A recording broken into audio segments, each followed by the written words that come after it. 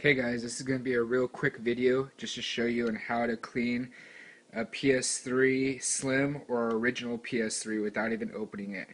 Now if you have original PS3 there will be a switch in the back, you just want to turn that off.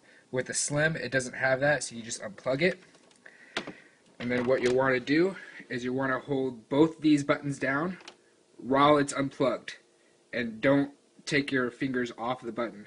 Then what you'll do is turn, you're actually plug back in your system, which I'm going to do right now. Now when I do that, you'll hear a fan kick in, which indicates that it's cleaning it.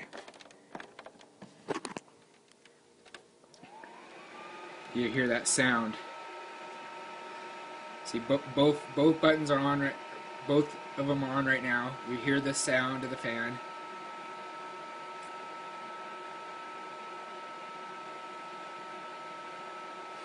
Just a little bit longer.